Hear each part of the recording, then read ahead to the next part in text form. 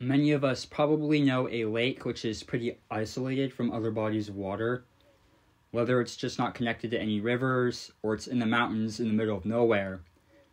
Many of these lakes still have fish, which begs the question how did these fish get there?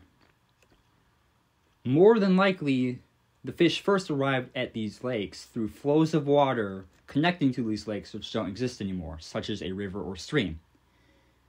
Many years ago, these rivers or streams dried up, and the lake itself has been supplemented through things such as rain and melting snow. And that is the reason why the lakes don't dry up. However, how have these fish stayed alive for multiple generations? These fish are combined to a lake, and oftentimes the lake is very small. All the things the fish needs to survive is in just one large pool. One bad winter could mess up the tiny ecosystem and kill off most of the fish. So, how do the fish survive that? Before I get into that, I want to start with how the fishes individually survive the winter. Many fish go into a state where they swim to the deepest part of the lake, stay there all winter, and slow their heartbeat down.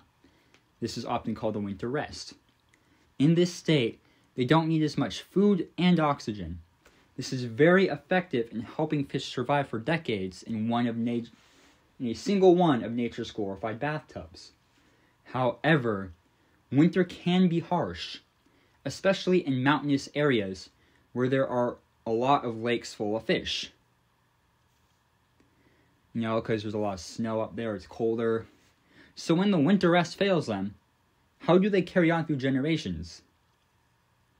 One of the most common ways for lakes to replenish their fish is through us, people, introducing them there. Many of you probably already know this, but us humans have these things called fish hatcheries. Fish hatcheries are essentially fish farms, and fish produced from them are often dumped into lakes to help struggling fish populations or to introduce new fish populations when we decide the ecosystem needs it.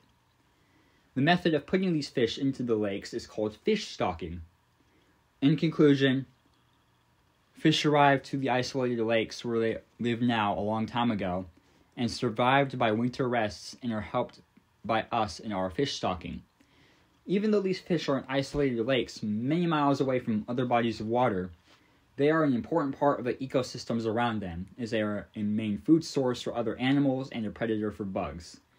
Oftentimes, they're a food source for large birds such as eagles or maybe ospreys. As a quick disclaimer that I like to put at the end of my videos, I am not a scientist. I'm a guy with a YouTube channel. Your own research is always encouraged, and I appreciate learning more about these topics from the comments. So if you have anything to contribute, leave a comment. Thanks for watching.